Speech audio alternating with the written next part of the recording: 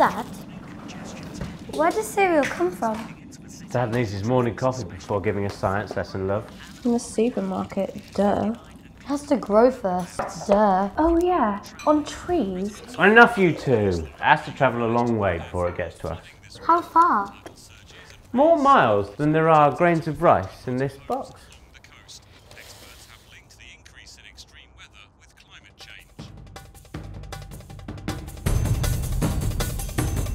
For the past 20 years, our research teams have been working across over 40 different sites in East Africa, developing detailed paleoecological and archaeological archives, and gaining a deeper understanding of the interaction between people and the environment through time and across space. This understanding of the past is crucial, since we cannot predict the future with any degree of accuracy without understanding where we've come from and how things have changed in the past.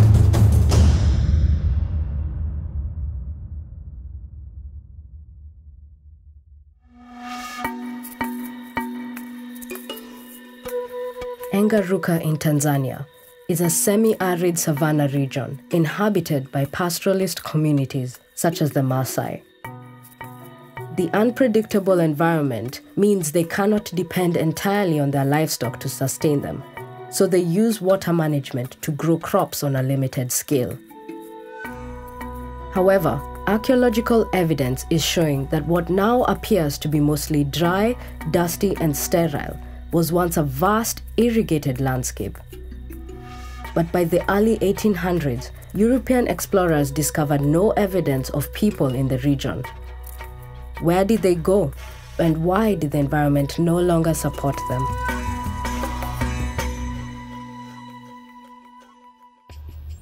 Given this evidence of an extensive network of abandoned irrigation canals in what is now a semi arid environment, it is tempting to conclude that irrigation was always essential, that farming here would have always been impossible without it. But the evidence from archaeological research shows that Engaruka was once far wetter, not just wet enough to support 20 square kilometers of farmland, but wet enough that over half the fields at Engaruka were built by capturing soils carried off the mountainside by water flowing within the rivers and streams. Details like these dramatically change the way we see this landscape and challenge the once common conclusion that its eventual abandonment is a clear evidence of its failure. Every additional detail helps piece together this jigsaw. By charting the order in which fields were constructed, it is now clear that the field system was gradually built over several centuries, and that each group of fields could have easily been constructed by just a few individuals working together. This counters the previously held notion that this was a centrally planned project designed to profit a powerful elite.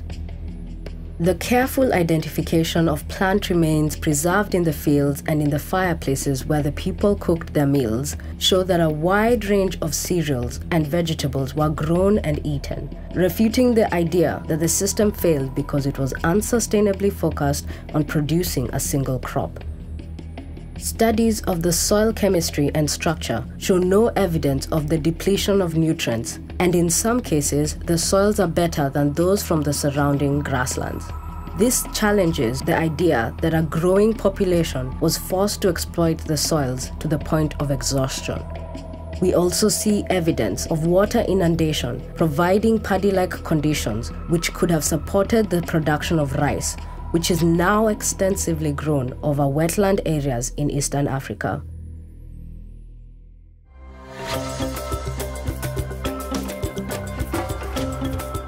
Details of this sort are essential if we are to piece together the jigsaw of how Engaruka functioned and changed through time.